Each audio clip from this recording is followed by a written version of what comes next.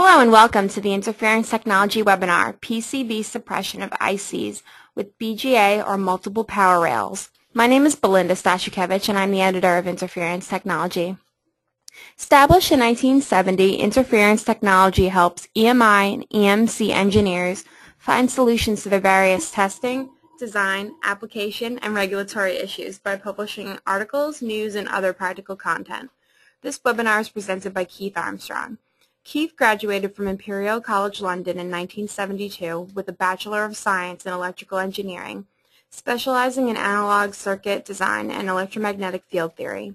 He formed Cherry Clough Consultants Limited in 1990, which provides design services to help achieve compliance with EMC.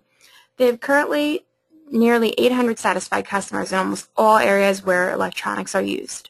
This webinar is one of many that Keith has done for interference technology. To view his other webinars, visit our website, www.interferencetechnology.com. This webinar today will be interactive. You'll be able to ask questions and answer polls, and we encourage you to participate. Take a look at your GoToWebinar navigation pane, the box on the right-hand corner of your screen. If at any time you have a question, we ask you to fill out the type box and hit send. To make the screen minimize and maximize, click the arrow button. To raise your hand to ask a question or to report an issue, click the hand icon. We'll present the topic for 45 minutes, followed by a 15-minute question and answer session. Now Keith will begin the presentation. Thanks, Belinda. What she didn't say is that this is the, the item webinar series. It's better than Breaking Bad and the Game of Thrones combined. And um, uh, it's not, I don't mean just my webinars, all, all of them is, uh, are available on the on the item website. So let's get on with this anyway. uh, ICs with BGA packages and multiple DC rails. There we go. Or anything with multiple DC rails. So there's lots of types of um, BGAs. It's a very common package these days. Here's an i5, i5 core from Intel, sort of thing you might find in your cell phone or your laptop. Here's a powerful um, FPGA. It's a Virtex 7 from Xilinx. We'll, we'll see that later on. Look at all those balls in an, an array there. And here's a, an ASIC process from uh, on Semiconductor based on a 1.2 volt 110 nanometer process and again in a BGA package. So the, the thing in general for cost-effective signal integrity and power integrity and EMC is that it's very important to have a solid PCB plane and especially a ground or zero volt plane. Now, during this webinar, I'll sometimes say zero volts and sometimes I'll say ground, and they mean the same thing, as far as I'm concerned, in the PCB. So it's usually a solid zero volts or ground plane all over the board, and especially, most especially, underneath the ICs. Trouble is, when using through-hole plate uh, THP board manufacturing technology, you end up with an array of through-hole vias right through the board, on one on every pin underneath all the BGAs. This dramatically perforates the planes, and if you're not careful, you can end up with big gaps. I've seen I've seen holes in the planes the size of the IC and significantly reduces their effectiveness for EMC.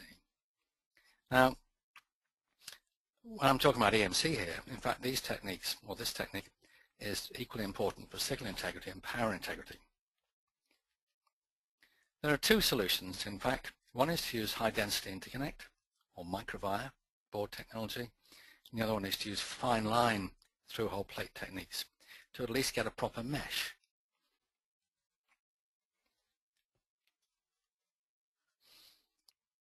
You should remember, let's just go back a bit, the most cost-effective place to deal with SI, PI or EMC is in the integrated circuits themselves. But if you aren't actually designing your own one, and most of us aren't, the next most cost-effective place is in the PCB. So um, the, the manager who thinks that the most cost-effective product is made from the cheapest parts, the lowest cost BOM, is going to ruin the financial uh, viability of your company. Okay, um, you have to. It's worth spending, not worth. You have to spend money on the PCB in order to save more money elsewhere. Okay, it's got that out of the way. So HDI technology is also called microvia, or it uses microvias.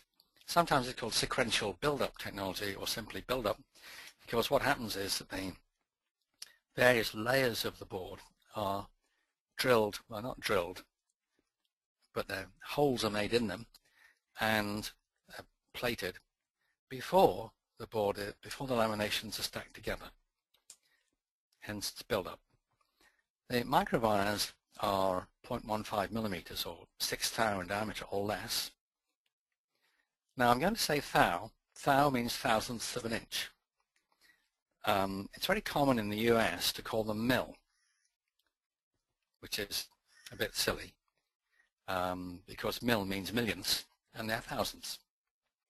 And the trouble with mil is it's easy to confuse it with millimeters. So even though we're not building any Mars landers at the moment, we don't want to get our units confused. So I'm going to use thou uh, and not mil. For those of you who are used to mil, it's thou. The thing with microvias is they're only as long as is necessary. So if you need a microvia to go between layers 1 and 2, or 2 and 3, that's how long they are. And they don't steal solder during reflow. So with a bit of care, you can use via in pad layouts, and these are very good for radio frequency in general and EMC. You can actually achieve twice the number of pins per unit area than through-hole plate. And as a result, can significantly reduce the number of board layers, especially where you'd need 10 or more using through-hole plate. Now here's an example of traditional microvia technology. And um, you can see there's a, a core of FR4 or, whatever, something cheap. And there are some through holes in it. There's a through hole right through the lot. And there's the through hole that was drilled through the FR4 core before the build-up layers were put on. Here's some pure polymer or whatever, build-up layers. And here are some microvias. These are blind ones because they're on the outer layers. And these are buried ones because they're on the inner layers. Now later on we'll see, or in a future webinar, we'll see how we have modern microvia technology, which is has many advantages over this original stuff. Anyway, that's the basics. The thing with HDI is it helps to make the smallest, lightest, and least power-hungry products. You can find them in many toys and other common products. Um, like the Furby. Do you remember the Furby, a little furry toy that would talk to people? That had a, a microvia board in it. With microvia, you can use the smallest IC packages like a micro or miniature BGA, which is the subject of today's webinar, really. You can also use uh, the chip scale kinds of packages like direct chip attach, flip chip, chip scale packaging, and tape automated bonding. Now, if you try to use these very small ICs with through-hole plate, uh, you'll basically blow yourself out of the water as far as EMC is concerned. You have to use them with microvia, and then you can get excellent signal integrity in the EMC. The vias in pad rather than breakout traces and pin escape traces reduces the decoupling inductance, pushes the resonant frequencies of the power distribution network higher, which is what we want. Shorter traces are less efficient as accidental antennas. Smaller boards resonate at higher frequencies, it's all good stuff. Smaller sizes of the ICs and their close proximity to a good solid zero volt plane means they emit less. And the shorter traces might not need to be uh, created as controlled impedance lines. In fact, they invented HDI for cell phones because they discovered if they tried to make a cell phone as small as people wanted, remember, I mean, I'm just rerunning some old episodes of Friends, and the cell phones that they have are the size of house bricks, quite literally. And uh, people wanted smaller ones, obviously, to fit in the pocket. And they had to invent HDI technology in order to do that. And mostly because of the solid zero volt planes. And because they aren't perforated, they have lower impedances, hence lower emissions and better immunity. Um, and better SI and They have a more constant return path inductance, which gives you better control of transmission lines. And you can even get good shielding between the circuits on the top and bottom sides that you can't do with through-hole plate because the via holes go all the way through. For instance, I've seen some cell phones with the digital circuitry on one side and the analog and RF technology on the other side. With the addition of a couple of cans, you know, 10 cans on the board, you had good shielding between the two circuits. And under BGA, of course, we can create a solid continuous zero volt or power plane, which helps us to reduce the specs of filtering and shielding, which is what I said originally, that um, spending, spending the money, or at least doing the work, on the board level uh, saves more money. General rule of thumb is that for every layer of assembly um, that you go up, for instance, filtering and shielding is applied at the level of the enclosure, then it's at least 10 times more cost to deal with EMC than at the previous level of assembly, like in the printed circuit board. Whenever I mention uh, microvia, people always shock, suck their teeth, they shock their teeth, they suck their teeth. And they say, oh, but it's expensive. But it's just not true. The Institute of Printed Circuits did a survey in May 2000 found there were 62 manufacturers of HDI boards worldwide. In May 2008, there were 32 manufacturers who can do HDI just in the UK, which as everybody knows is a small insignificant little island where mostly we show off our queen and that's about how we earn our money because um, the weather's not worth talking about. It's pretty good at the moment though. Now the thing with these board manufacturers is uh, actual techniques, manufacturing techniques can vary and so you might need, you should always, in fact, check with your board manufacturer how he's going to build the boards before you start the layout. Don't just go to them with a standard layout and say, here, make that. The basic standard is IPC 2315.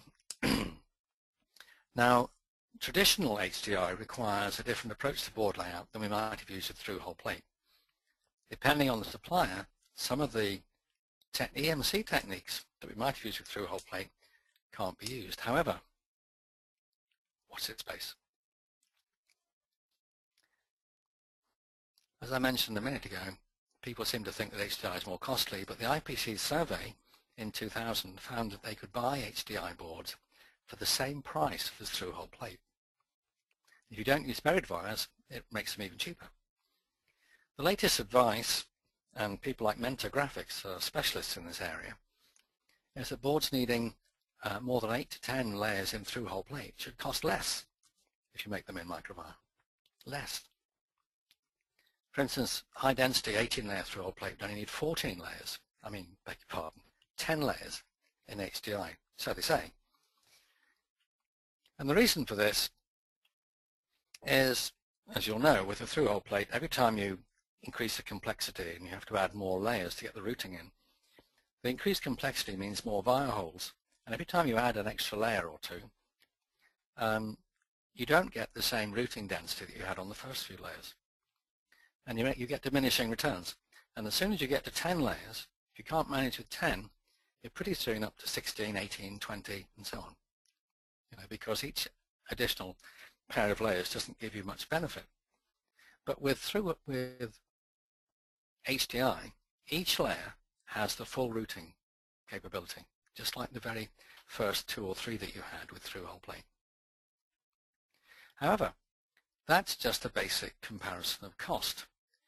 The point is that the EMC, SI, and PI advantages of microvia boards may well make it more cost-effective than through-hole plate with even lower densities and fewer layers than, than 8 or 10.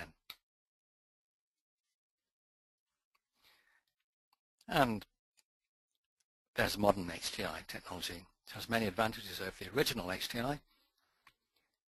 And we're going to cover that in my next webinar on September 17th. So mark that in your diary because it's going to be very good. Well, I think it is anyway.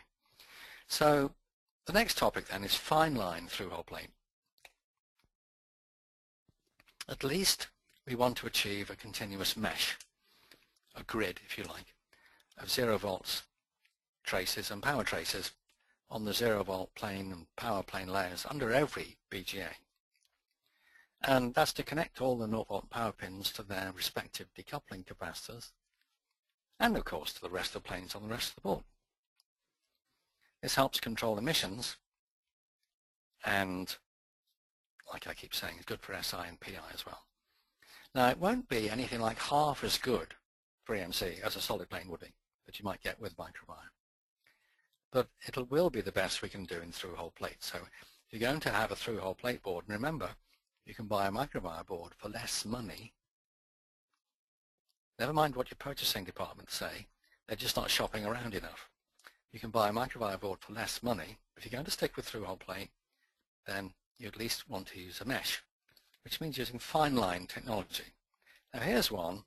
This is an example of a layer in a board of a customer of mine that's done using 100 micron or 4 thou track and space rules.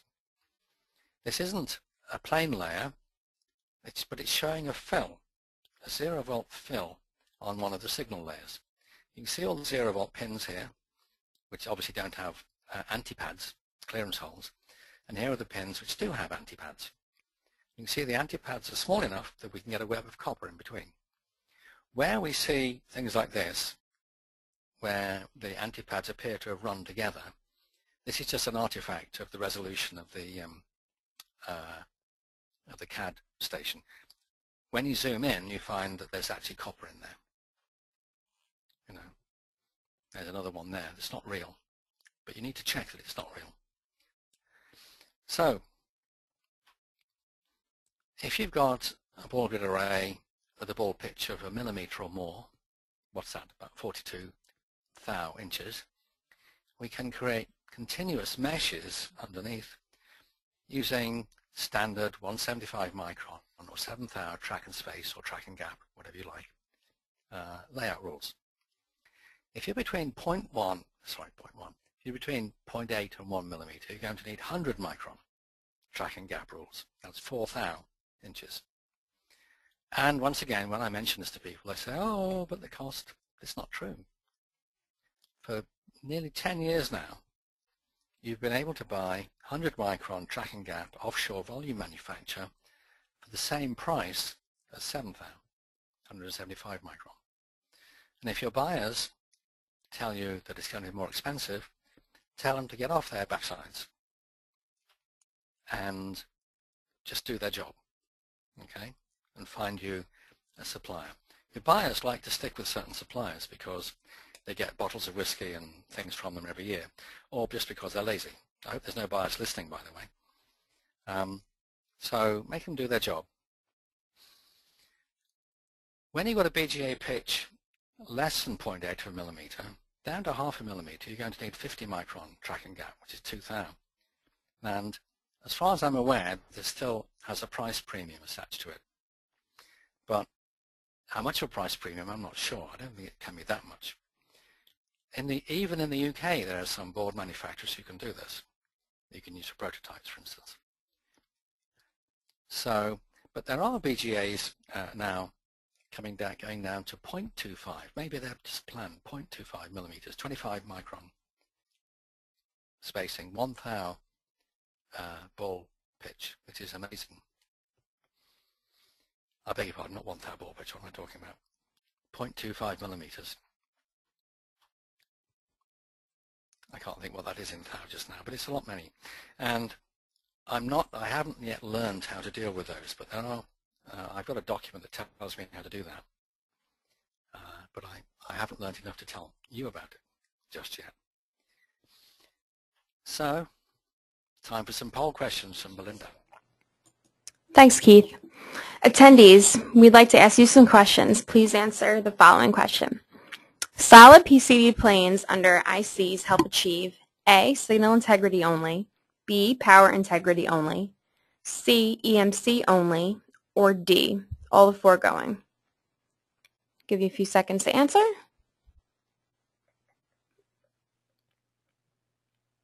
And 100% of you said D, which is correct. We'll ask another one. Microvia PCB technology, A, provides the best planes under ICs, B, can help reduce the BOM cost, or C, both of the above. We'll give you a few seconds.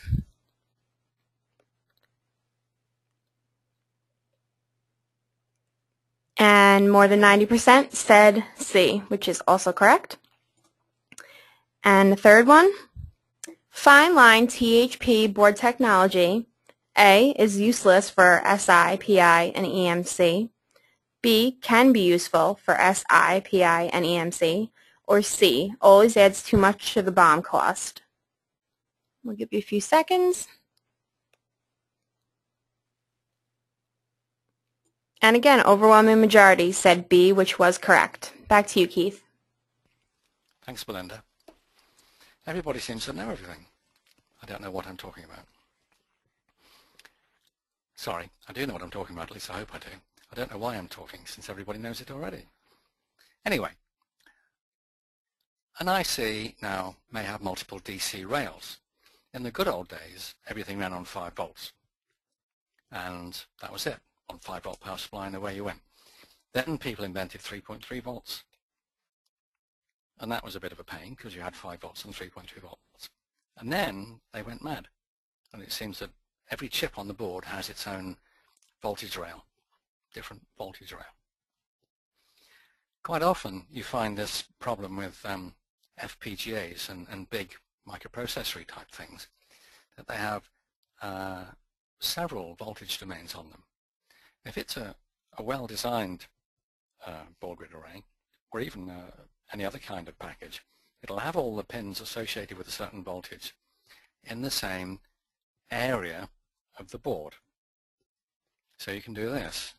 For instance, this 3.3 volt power plane picks up all of the 3.3 volt related pins. Notice we have a solid 0 volt plane which extends beyond everything all the components, all the traces, all the power planes. In fact, it's a good EMC technique to extend the 0 volt plane way beyond everything, say by an inch or two. For the Europeans, that would be 25 to 50 millimeters. And um, use the, the, actual bare board material as uh, to give you EMC benefits. Um, providing that you do other stuff correctly, good EMC practices on the board correctly, every time you double the, the moat of zero volt plane beyond everything else, you can reduce your emissions by 6 dB. So, you know, 6 dB, 12 dB, whatever. That's another example of where trying to get the cheapest, you know, board um, can be counterproductive. Anyway, there's the 3.3 volt pins. There's a plane, power plane that's picked up all the 2.5 volt pins. There's one that picks up all the core logic planes at 0.9 of a volt in this case, although of course it might not be 0.9 of a volt in your case. And there's some pins that are associated with 2.7 volt circuitry. Now, if your device isn't segregated, if the pins associated with different voltages are all mixed up together, then don't use it, choose one that is, because obviously the manufacturer hasn't a clue. And some manufacturers are much better uh, with their pinouts than others.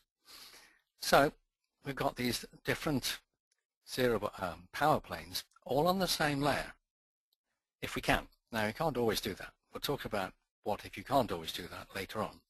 But let's assume you can get everything on one layer.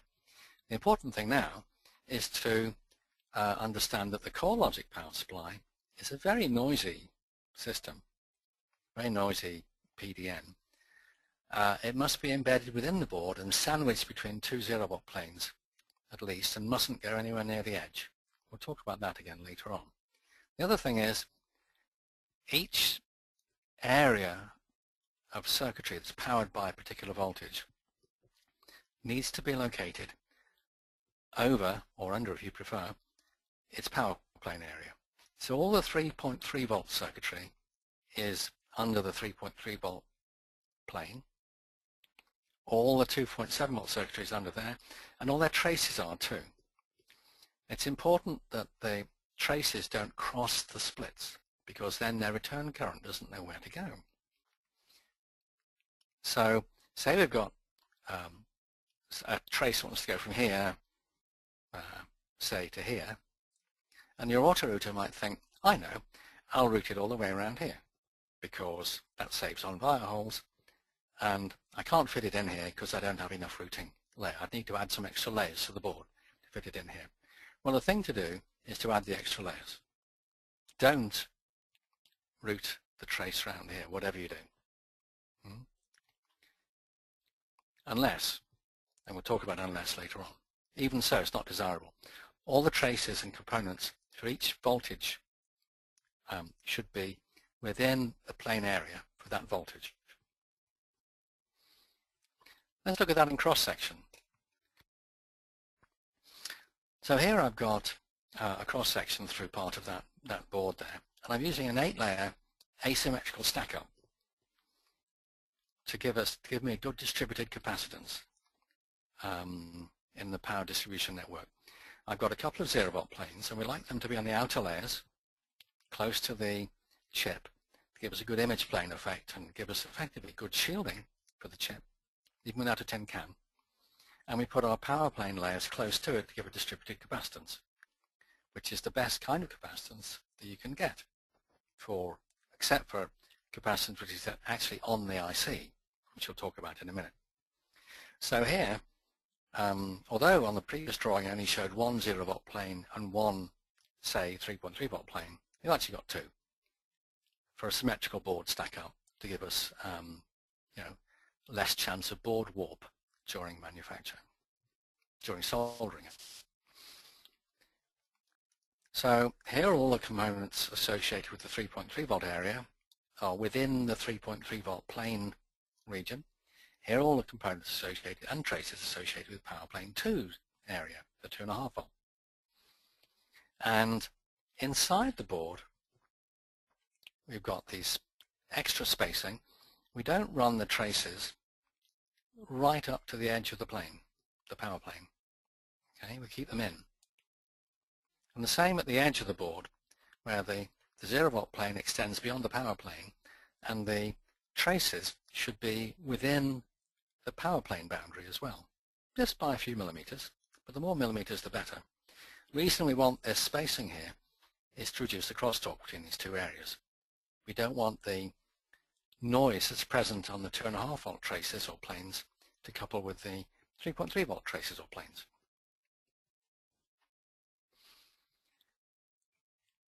What if you got power planes on parallel layers in the board? And this is often necessary, especially if you have double-sided uh, board layout. Uh, you may have um, ICs on opposite sides of the board and they've got different power requirements. So you have different planes in parallel. If you go back to here, this particular example here, it doesn't matter that these planes are in parallel because they have the same voltage. They're linked together quite often by the through holes. But if you've got uh, different voltage planes in parallel, then the stray capacitance between them, which is good if you've got power to power plane to zero volt plane or power to ground plane, that's good. Not good if you've got power plane to power plane capacitance if they're different voltages. Now a typical problem here is your microprocessor or FPGA core logic, typically running between 0.9 and 1.2 volts. Now I understand that people are working on um, uh, processors that run down to as low as 0.3 of a volt, which uh, I'm amazed by, but no doubt will happen one day. It'll be something like 0.3 of a volt at 1,000 amps or something, but anyway. Um, now the processor core logic supply is very, very noisy. A good ex an example uh, is the, the Xilinx Virtex 2. Now we're on Virtex 7 at the moment, so Virtex 2 is five process shrinks ago. The core logic for Virtex 2 had some power demands that were 50 picoseconds in duration. That doesn't mean 50 picoseconds rise time.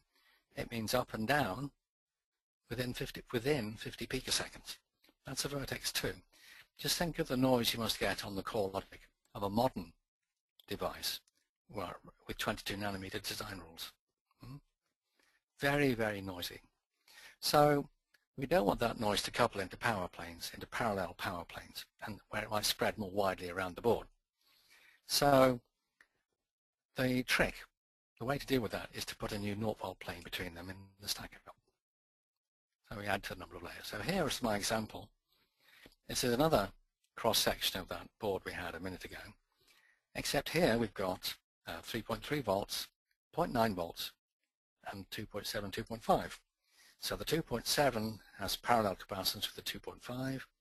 The 0.9 has parallel capacitance with the 3.3 and with the 2.5. A bit of fringing capacitance at the edges, so we won't worry about that for now. Anyway, you can see that the noisy plane is embedded within two zero volt planes, but it can couple nicely into these large planes, which will have much lower resonant frequencies.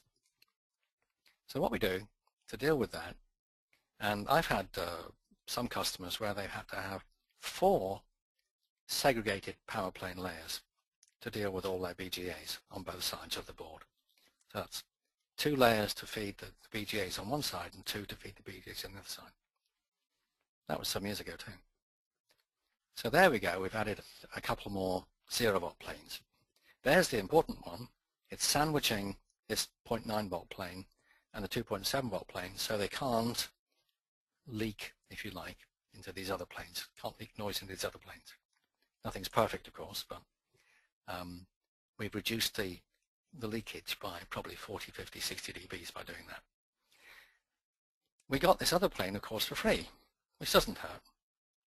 The, the best printed circuit boards for SI and PI and EMC have as many ground plane layers, nought volt plane layers, as all the other layers combined. So if you have six layers with signals and power on, you have at least six, maybe seven. No, that wouldn't work, would it? You have six nought volt plane layers. Anything less isn't as good as it could be. Okay. When we sandwich a power plane between two solid nought volt planes, like we saw on the previous slide, it also means that we don't have to worry about traces crossing power plane splits. Because all the traces, let's go back, all the traces now are all routed around in between two planes, either a ground plane and a power plane. Sorry, all the traces, let's start again. All the traces, the signal traces are routed around between two power planes. That's not strictly true, is it? It would have been better if I'd put that power plane, that ground plane over there now, now I think about it. Anyway, um, you see a trace, say in the 2.7 volt area, that might have wanted to wander into the 0.9 volt area, would have been a big no-no before. But now, that trace crosses that split, it doesn't have a problem with return current trying to cross the gap because it's effectively shielded by the zero volt plane. So the return current flows in the zero volt plane. That's what I'm trying to say on this slide. You don't have to worry about crossing splits between different power plane areas if the power planes are sandwiched between two nought volt planes. Also, sandwiching a power plane between two nought volt planes can double the decoupling, the embedded decoupling capacitance, which is good. That decoupling capacitance is what we rely on above 300 megahertz, that embedded decoupling capacitance. So doubling it can only be a good thing.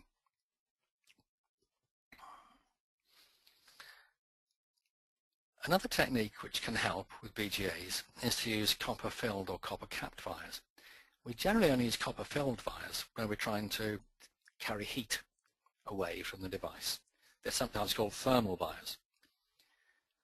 So copper capping is the important issue here, at least having a solid copper layer on the top. When you're routing a BGA with through-hole plate, we end up with these things called dog bones. I've got a, a rather blurry picture of some coming up in a minute. But with via in pad, we don't uh, need to worry about the dog bones. So it increases the routing under the uh, device, routing capability. And, um, well, that's it really. Here's an example of a, a, board that's been made with uh, copper capping. You can see There are no via holes. I mean, there are via holes. It's a through-hole plate board. There's via holes under all these, but they're all copper capped. Now the, the via holes don't steal solder while you're, while you're reflow soldering. And any gas inside isn't going to blow out and blow a, blow a hole in the solder and make a dry joint. In volume, it adds about 10% to the cost of the bare board. So it adds a lot more cost in prototype. So the trick in prototyping is to just go around with, get it without the copper capping, go around with high temperature solder and a soldering iron and fill them up because you've got to make them nice and flat, haven't you? So it's quite tricky, but it saves money. Anyway, it adds about 10% to the cost of the board, but these guys who made this board reckoned it was worth it for the benefits it gave them, for the cost it saved them later in the process. This is always the way to think about printed circuit board technology. Spending money on printed circuit boards is as an investment to save more money down the road. Like I said before, your manager who thinks that the board has to be cheap if you're going to make a profit on the product is actually doing you harm. It's often the case that you want to have an expensive board to save more money elsewhere. Here's an example of decaps around a BGA. This is actually, I was at a, an Agilent um, seminar on high-speed um, digital comms the other day. And this is their 40 gigasample um, per second sampler in one of their oscilloscopes. And it's a special, specially made component. And I, I just took this photo because it had a nice array of decoupling capacitors all around the ball grid array. On the other side, also had a nice array of decoupling capacitors around the ball grid array, and it's got these decaps soldered across the middle. So this will be soldered to the um, uh, pads rather than obviously via holes. Now you can see the dog bones in here. I won't zoom in because it's a horrible blurry picture. I just snapped this during a, a break time and um, and you noticed it was blurry later on when it was too late to do something about it. So you can see these little dog bones in here, which means that if you wanted to do any trace routing on this layer, it's going to be very difficult. But with uh, in pad, you could actually run traces around on this layer if you want to. So, interesting photo anyway. We might be doing our decoupling with ordinary capacitors like the previous slide. Notice this has got ordinary I guess these are 0402s, maybe they're 0201s, ordinary capacitors, but that's not the best capacitor to use. These days we have a wide choice of capacitors specially made for decoupling. For instance, the reverse aspect capacitors. Now instead of an 0402, it'd be called 0204. Instead of 0805, 0508. Murata have some, um, they call this the LLL series. Then there's interdigitated capacitors. I'll show you an example of one in a minute. AVX have a thing called IDC for interdigitated capacitor. They also have a, uh, a capacitor made on a ball grid array as a ball grid array package called a LICA, or low inductance chip array. Murata have two types of interdigitated capacitors, the LLA and LNM series. You may have heard of X2Y devices. These are balanced capacitors. They've got three sets of plates in them and they have four terminals. And they make great balanced filters. Yeah, filters for balanced lines. And you can also use them as decouplers.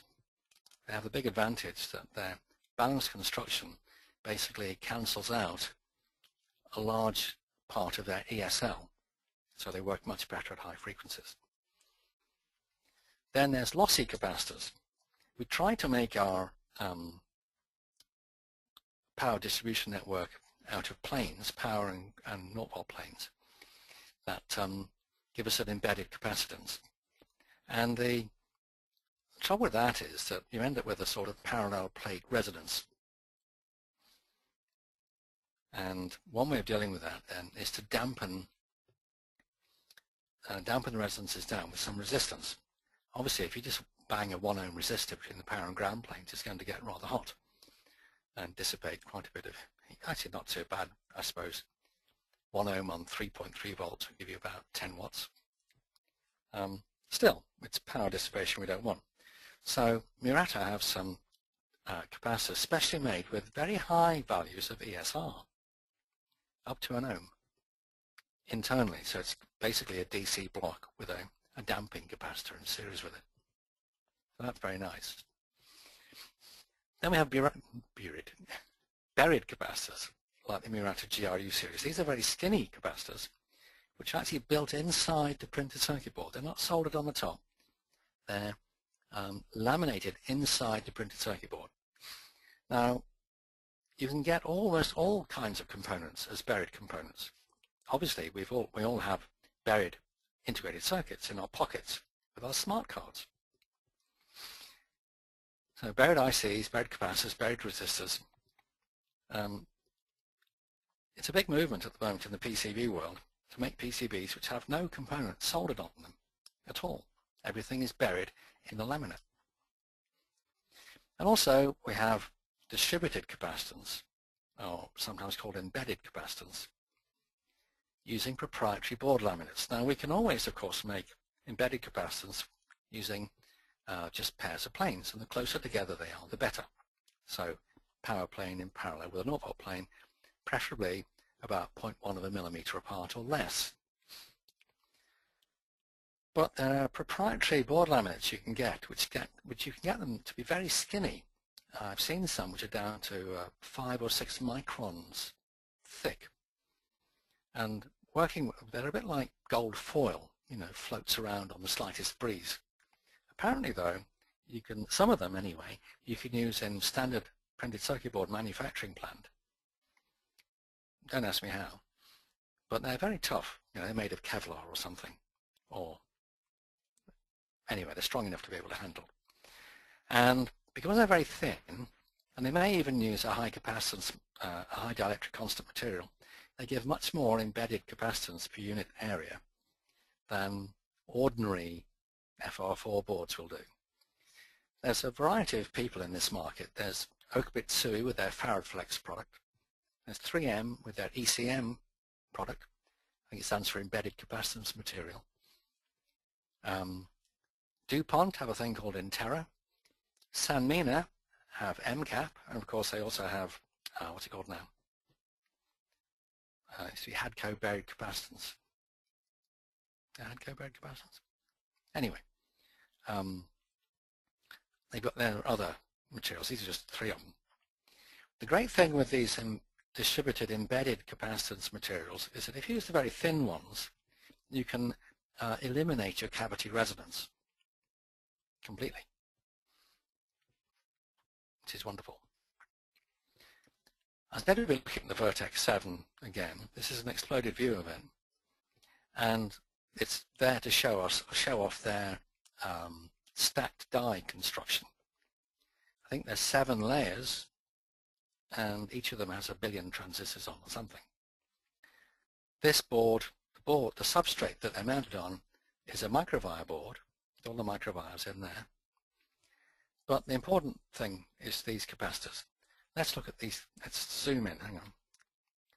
Uh, view, zoom, 400%. All right. There we go. See here some good examples of these advanced uh, capacitors on this microvia substrate, which quite possibly, I don't know, has a buried FaradFlex or something like that layer in it as well. So here's the interdigitated capacitors, and if you look at the pinout, it'll go power ground, power ground, power ground, power ground, all the way around. These are the reverse aspect ones. That'll be something like an 0402. This is probably an, an 0508, an 0508 IDC, or one of the Murata range. I can't remember the numbers now. Anyway, So, a nice example of microvia plus special decoupling capacitors. Here's an iPhone 5 with lots and lots of reverse aspect capacitors around it. And notice also um, pads around the edge here to the zero volt plane for soldering the tin can on top of this A6. Oh, and that's the end. Okay, it's time for some more poll questions. Okay. Attendees, please answer the following question. Multiple DC rails for an IC is best achieved with A. Full-size voltage planes on different layers, or B. Plane layers split into different voltage areas. We'll give you a few seconds to answer. And about more than 90% said B, which is correct. Here's another one. The core logic power plane is best placed A, on an outer layer of the stack up, or B, on an inner layer of the stack up. We'll give you a few seconds. Everybody's on the ball today. Uh, B, which is correct, and 90% said B. Here's another one. Copper filled or capped via holes, A, are useful for easing the routing under a BGA, or B, always add too much BOM cost. I'll give you a few seconds.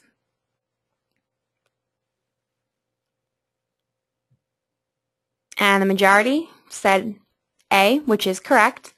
And one final one. Power integrity can be improved by using A, special types of capacitors, B, buried capacitors, C, embedded distributed capacitance.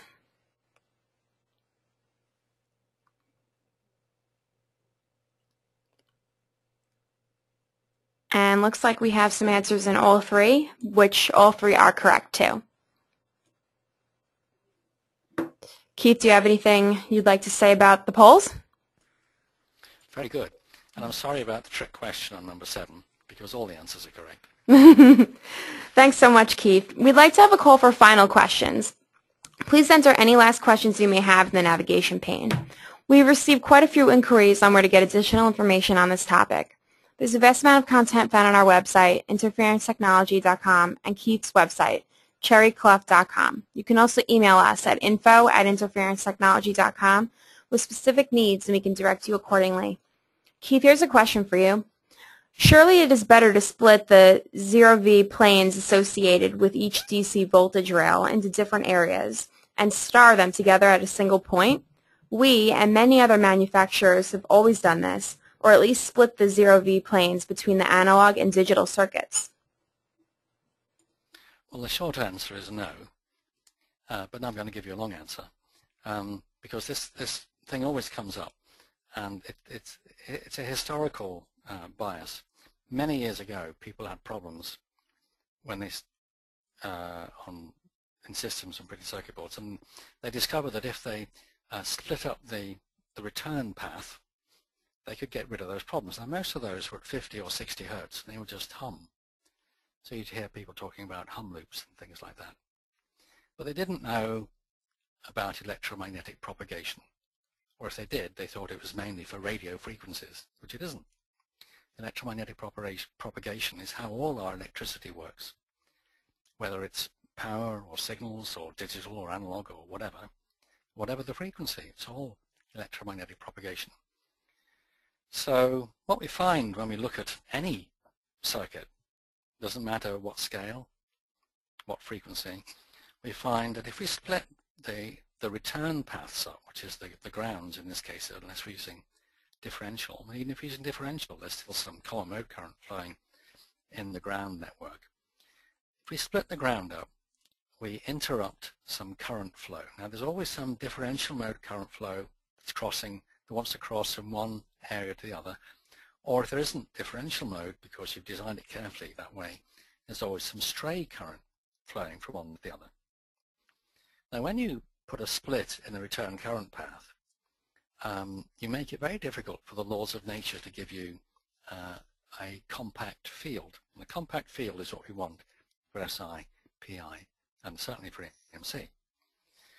Um, this all comes down to one of Maxwell's equations. It's Faraday's law of electromagnetic induction. It basically says currents always flow in the path with the least impedance. This actually comes from quantum mechanics or quantum electrodynamics, so we don't need to go there. But it's often expressed in EMC textbooks as keep the loop area small. Always keep the loop area small. And what they often forget to say is keep the loop area small for the stray currents as much as for the currents you wanted. Of course, when you split uh, a zero volt or ground plane, um, you end up with some of those currents having uncontrolled paths, loop paths, large areas. If so, um, current flowing in a large area creates more of a magnetic field. Magnetic fields are the, the, the common way, the most common way in which our printed circuit boards emit radiation, electromagnetic radiation, because they're running at low voltages. When you've got current flowing through an inductance, you've created the inductance, remember, by splitting the zero volt system, you end up with a noise voltage. You get voltage differences between the two planes, so they radiate beautifully like dipole antennas with electric fields. And they can also be more immune to electric fields. So this is bad, and it's bad also even at audio frequencies, never mind radio frequencies. The other problem, of course, is that these splits have a physical dimension. And they will behave, not they might, they will behave as, as accidental slot antennas. We often talk about accidental wire or trace antennas, but these are accidental slot antennas. And of course the chances are that they'll resonate, happen to resonate at some clock harmonic. And uh, Murphy's law always applies. What this means is that the, your first prototypes and your first production will be just fine. But then somebody will come along when you're selling, you know, a million a month or something, and just crank up the clock frequency by 5%. And then one of the harmonics will land on one of your split harmonic, split resonant frequencies, and the emissions will, having been well under the limit line, will come streaming up, maybe to 40 or 50 dBs above the limit line at one or more frequencies. And uh, of course, just turning the clock frequency up 10% means you don't need to bother doing the, um, or 5%, means you don't need to bother doing the, the uh, EMC tests again, and you discover you've got millions of customers complaining of problems. Companies have gone bust for things like that because all these products are under warranty, you see. When all your products come back under warranty, you're in a very difficult situation. So, just to summarize, um, it turns out splitting 0 volts or ground return paths has always been a bad idea. Now I used to do this, just like everybody else. In the 70s, I used to do this. In the 80s, I learned not to do it. Of course, you still have to split a plane if you want galvanic isolation. But for, ever since um, about 1981, I've worked on hundreds, literally hundreds of printed circuit board designs, and I haven't split a zero volt plane for any reason other than galvanic isolation. And they've all been um, wonderful. Even audio, hi-fi, audio, professional audio, instrumentation, you name it. Splitting return paths, splitting naught volt planes has always been a bad idea. Okay, I should shut up now. Thanks, Keith. Here's another question for you. Power ground planes on parallel layers can resonate and worsen emissions and immunity at those frequencies. So isn't it always better to use traces to distribute DC power instead?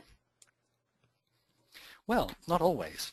Um, the when you have a trace and a, and a capacitor, or, or one or more decoupling capacitors at the end of it, that still has a resonant frequency, and it's actually a lot lower than you get with a plane um, which usually puts it more into the range of where you're likely to coincide with some system frequency and cause a problem. The traditional way of dealing with that is to put a ferrite bead in series. And, and that's fine. It works very well. Uh, the trouble is, with a lot of modern ICs, when you put a ferrite bead in series with the power supply rail, you end up with um, too high uh, power supply impedance at low frequencies.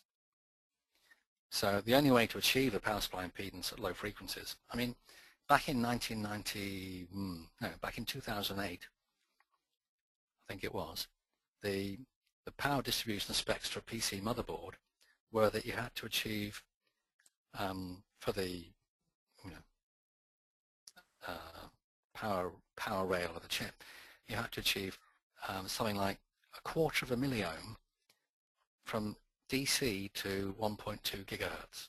Now you aren't going to do that if you've got a ferrite bead in series with a trace. No, you have to use parallel planes. You have to use embedded capacitance because that's the only way of getting a low impedance above about 300 megahertz. You can't do it with discretes. Maybe with some X2Ys, you know, perhaps you can do it. But the best way to do it is with embedded capacitance, which means you use planes. As I mentioned before, with planes, if you use a very thin proprietary dielectrics like FaradFlex or ECM, uh, you can get a plane with no cavity resonances, which is excellent.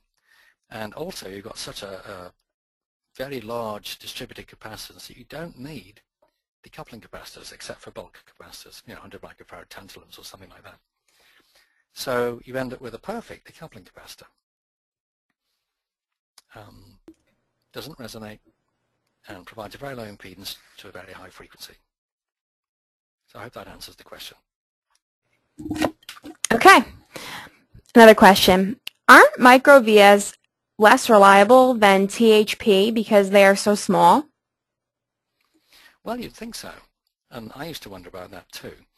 But um, there's been some military tests done on um, for computers in aircraft. And they found that with the shake and bake routine, uh, that the uh, microvia boards are actually tougher. And it turns out, I read the article ages ago, I can't remember the reference now, but it turns out that the aspect ratio of a microvia, despite the fact it's very small, it's also not very tall. And a, a thin through-hole plate via, like it might be half a millimeter diameter, it might be one and a half millimeters long. You've got an aspect ratio of about 30 to 1. And it turns out that that's actually quite unreliable. And of course, if you're going to pepper your board with 2 millimeter diameter vias, then you're not going to have a very good computer because uh, you, or it'll be a very large one anyway. So it turns out that microvias are actually uh, tougher, more reliable than through-hole plate. Now, when we look at um, advanced uh, HDI on September the 17th, I'll show you some pictures of um, a modern uh, technique, which actually makes the microvia as a solid copper slug. So it doesn't have a, like a little cone shape like I showed before. It's actually a, like a solid copper bead squashed in the board. That has two advantages. One is that it makes it really tough, you know, really very strong indeed. The other one is that um, it doesn't even trap a little pocket of gas underneath the solder ball. So you don't have the outgassing problem when you go through the, the solder oven that can sometimes affect um, via in pad using microvias. So in other words, you get a copper capped effect of a copper cap via along with a microvia. So I hope that's answered that question. Okay. We've received so many great questions that we will try to address in the future. Keith, thank you again for your time and expertise. Attendees, if you like our webinars, join us this October for EMC Live. This is a brand new online multi-day event hosted by Interference Technology. The event will feature roundtables, webinars, and panels on everything EMC related. Visit emclive2014.com for more information. Attendees, if you have any more questions we didn't answer here today, please send us an email at info at interferencetechnology.com. A recording of this webinar will be available on our website. We will also send a link to all participants shortly. Thank you for attending.